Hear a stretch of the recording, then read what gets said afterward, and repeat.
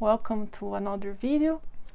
I decided to do this extra video for you showing some uh, very beautiful picture books I got in the past few months or so and I thought they all had some similar um, things that caught my eye and would be nice to show uh, to you. I noticed that people seem to really enjoy the book videos that I do, so I thought was already maybe time to share another uh, batch of books that inspired me.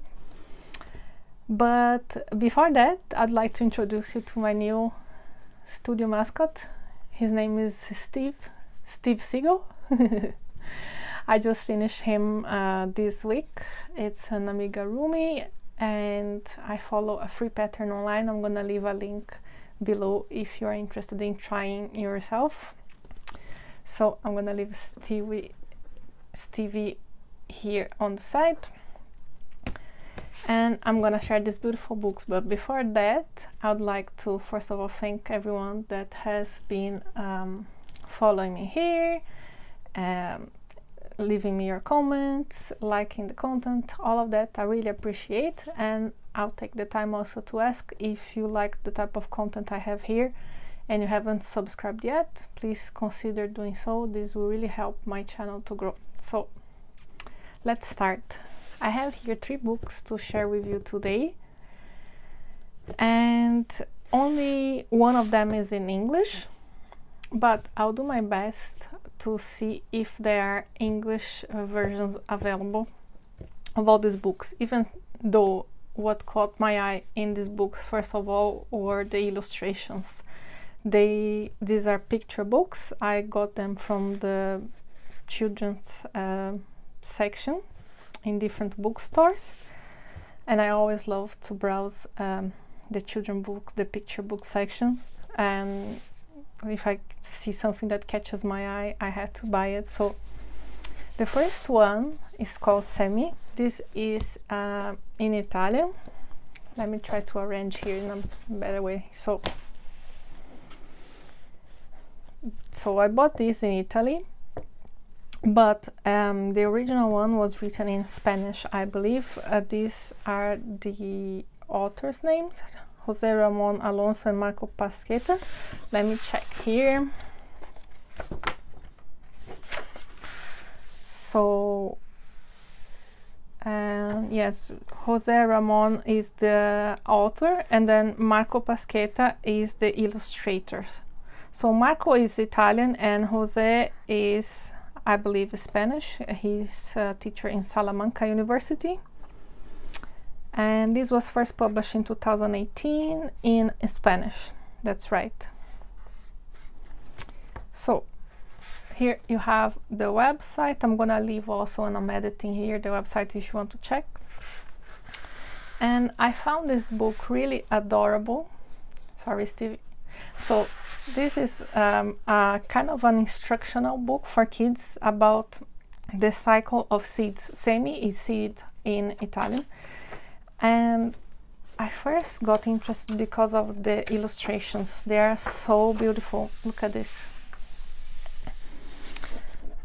They have this very, um, how can I say, traditional art look. I'm not sure if it was done traditionally or digitally. Nowadays there are so many different brushes you can use with digital art that's hard to to figure sometimes but yeah it has this very textural look that I really love and I would like to try better to apply to my own artwork this type of texture. I had shown this previously in some illustrations also in a picture book called The Land of Never Believe by Norman Messengers. Messenger.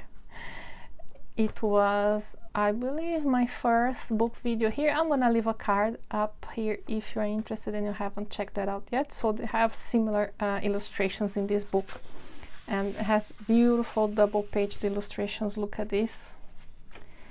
And then um, it tells the cycle of uh, seeds and different types of seeds. So here you have like pine cone and apple.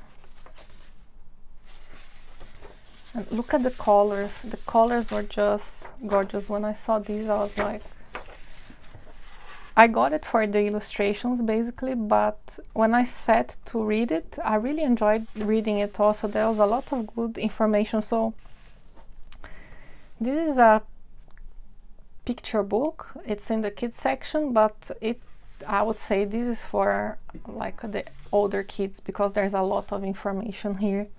You see here they talk about the heaviest seed there is, the um, sea coconut seed that I was not aware, and um, it's beautiful. The these textures like watercolors, are colored pencils on the top.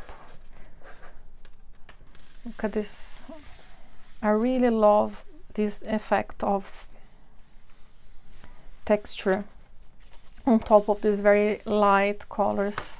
It's something I would love to apply to my own artwork. artwork. Excuse me, I'm a bit, uh, my voice is a bit uh, coarse, I don't know why. But um, yeah, so has beautiful illustrations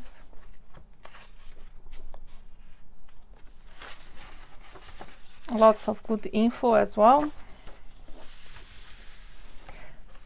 I mean, when I was a kid, I would have loved to learn in this way rather than just reading out of science books. This is the one that is in the cover. You can see here. I love also the color palette, it's so warm.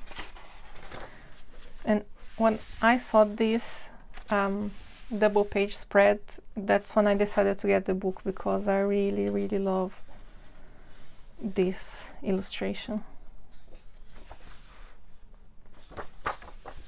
I hope you can appreciate uh, in the video how how beautiful the illustrations are and there's many of them. Look at this. Germinating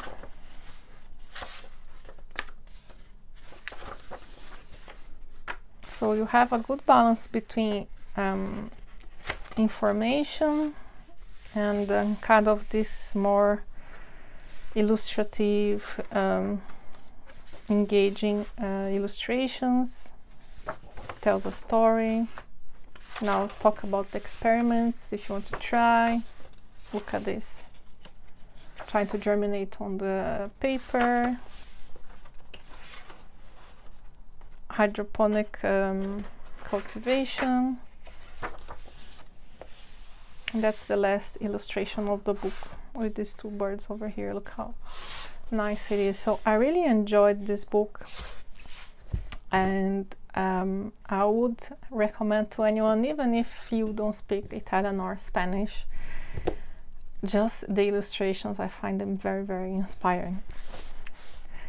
Now, the next one uh, that I'm sharing for you is Time for a Bed Miyuki. This is in English and let me check here. Uh, this also has beautiful illustrations, a lot of texture. There's a lot. This I'm sure wasn't um, heavily um, with traditional art because there is this colored pencil uh, texture.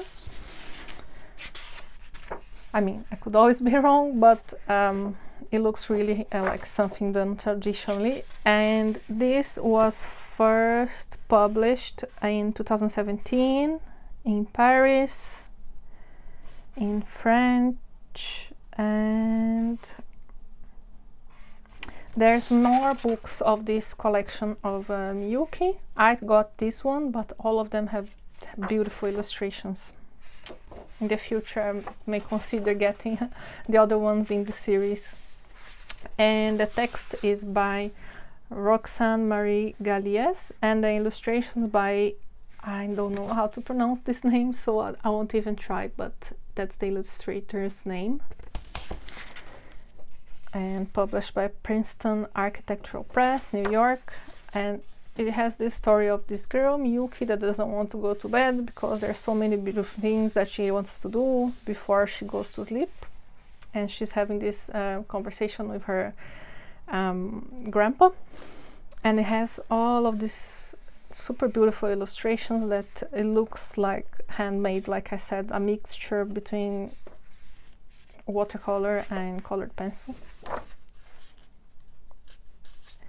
And i really love i love the patterns these are all like japanese patterns that you would see a lot in uh, textiles kimonos and um, ceramics and um, basically it's very traditional Japanese patterns. I liked so much the use of patterns in this book. I wanted to try and find a kind of a source book where I could see these patterns and their names and the traditional colors used with it, but I couldn't find something on the lines of what I was thinking of to use as a sort of um, reference.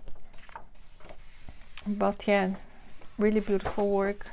And the story also is very nice and heartfelt.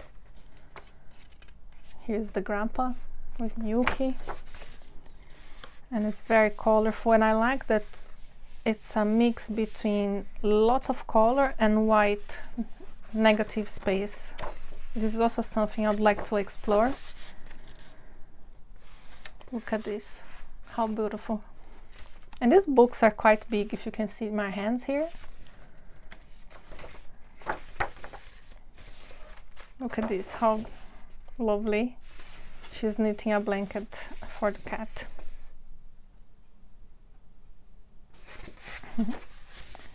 and here some mushrooms. and I really love also doing this in my artwork using patterns to cover some subjects. I find it really um, fun to do and it I don't know patterns is something that always catch catch my eyes so yeah it's a really lovely book and I love the color palettes as well. I mean if you watched my other videos with my favorites in the watercolor series and all you'll see like you have here teal turquoise yellow bright red. That's basically my favorite color palette so no wonder I got attracted by the book. It's really beautiful. Love the little birds. These remind me of um, uh, birds look at this how many beautiful patterns you have here. I hope you can still see well there's a big cloud now over my window. But um, yeah. It's a really lovely eye candy of a book you have here. The little origami. Look at this. That's why I said it really looks like something done um, with colored pencils you see the texture over here as well and I love to use colored pencils this way to keep this texture showing. I find that it looks very tactile and I don't know, it has something out of childhood and memories of using colored pencils. And yeah, that's the end of the book. So here you have also the other in the series. You have Thank You Miyuki and you have Patience Miyuki as well. Very beautiful book. Uh, before I go to the last book of this tree that I'm gonna show today, I'm gonna just take a sip of water so maybe it won't be so hard for me to talk and for you to listen to my uh, raspy voice and I'll come back soon. So I'm back. I hope my voice is a bit better now. And this is the last book in the series. These books are very big so I had to zoom out a little bit so you can see better and this is another Italian book. This is called Venditore di Felicità or the Happiness Seller and this was by Davide Cali and Marco Soma. This I remember checking in the past uh, to see if there were English versions available. Sorry, I just knocked the camera while I was moving my things here, but um, I was saying that I had tried uh, tried uh, finding this book online at the time, to see if there were English versions and I couldn't find a lot of info. I'm gonna check again when I'll be editing the video and if I see an English version or if I find it for sale online, I'm gonna leave a link here below. I found this in a small bookshop in Italy and I really loved it.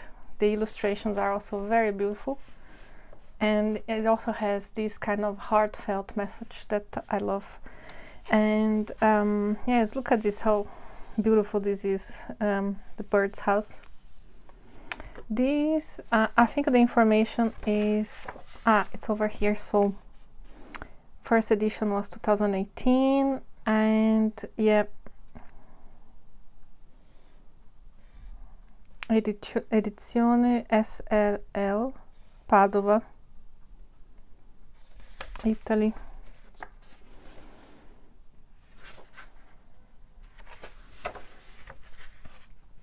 so yeah there's this little bird the story is about this uh, bird that um, it's a happiness seller. So you here you can see here the little truck where he sells his um, bottles of happiness. And yeah it's so beautiful. And he goes visiting all the clients. So you have here in in this tree where there's the, a family of mice that he visits and look at these illustrations how they are beautiful. I love all the textures. And same as the other books it has this kind of colored pencil um, noisy texture. Um, the Miyuki book was more about colored pencil but I have the impression that the three books they look a bit like what you would make uh, using a very uh, diluted uh, layer of watercolor and then covering with the texture of colored pencil and I really love this approach to illustration. I said already many times in the video and I'll say it again, I really want to explore more this type of techniques because I find them really, um, how can I say, warm and textural and it kind of give this vintage look and character um, I don't know. I find that um, I have a lot of uh, styles that I particularly interested in, but this type of illustrations with very um, textural elements really, really are dear to me. So every time I see a book with this type of illustrations, I have to buy it. so yeah, you see, you can see um, they he's uh, selling to the family of quails here in the street in this um, tree. And oh it's so beautiful and I love the style of the illustrations as well. Look at this. So this is a birdhouse and it looks like a huge bird and there's all these flowers and these details isn't it amazing? You can see even the little clothes here and a little envelope on the um, hanging um, wire here. Ah it's uh, all the leathers look at this cloud. It's so creative and so beautiful. And there's not a lot of text so even if you uh, don't speak Italian or don't read in Italian you could always um, very easily translate using uh, the Google Translate app I know it sounds like a lot of work, but believe me, I have books in Japanese that I do the same. I don't speak Japanese, I don't read Japanese at all, but if something catches my eye, I I, I don't let I don't let language barriers stop me. Most of all if there's a lot of illustrations like this. So yeah, it's a very um, very beautiful book. Look at all this um, leaves and the garland over here, the little birds. And I also love how they draw the birds with this type of anthropomorphic uh, style where they have clothes and they have arms and legs and shoes. That's also something that I really love doing. I have a sketchbook where I did a series of animals with clothes. I posted some of them to my Instagram but I haven't finished the sketchbook yet. It's been more than a year that I started, but when I do, I'm gonna share it here so you can have a look. and yeah it's really lovely book also this type of um, old style traditional illustration look at this it's a sweet shop and also in this book there's a very lovely warm palette. You can see that all of um, the illustrations have this kind of um, earth tones this type of old uh, paper colors you see. It's uh, really cohesive as a whole. They all have this kind of um, tone even in the background you see. And I don't remember now the whole story, but I remember that was a really lovely message. Was a really like um, emotional uh, type of story. So a bit like um, the stories in Oliver Jeffers books. Um, always this heartfelt message uh, in the background. So yeah, look at this, how lovely the little bird with the hat. You can see that I, am really um, I'm really excited by this uh, lovely lovely books. And yeah this is the last page. You can see here. Look how beautiful. Yeah. And here in the end you have this message.